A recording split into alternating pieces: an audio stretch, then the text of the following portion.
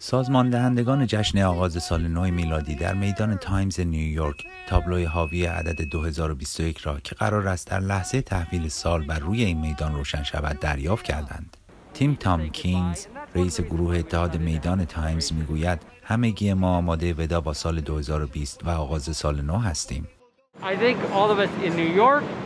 ما همگی آغازی مجدد می خواهیم. باید با سال جاری خداحافظی کنیم و این یکی از دلایلی است که تصمیم به برگزاری این مراسم گرفتیم اگرچه گستره آن محدود خواهد بود و به روی عموم باز نخواهد بود نگرانی های مرتبط با همهگیری کرونا سبب شده مراسم امسال بدون مشارکت معمولا یک میلیون نفری مشتاقانی باشد که هر ساله در هوای بسیار سرد نظارگر پایین آمدن توپ مخصوص تحویل سال هستند.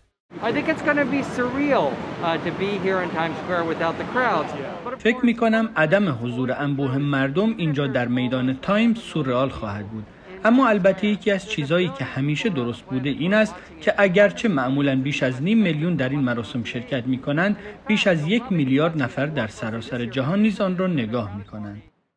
جشن سال نو میدان تایمز نیویورک همواره یکی از بزرگترین جشنهای فرارسیدن سال نو در سراسر جهان بوده است. اما امسال به جز عده اندکی که با رعایت فاصله گیری اجتماعی در آنجا حضور خواهند یافت همگی مشتاقان پایین آمدن توپ مشهور این میدان همزمان با لحظه آغاز سال نو را به صورت دیجیتالی مشاهده خواهند کرد.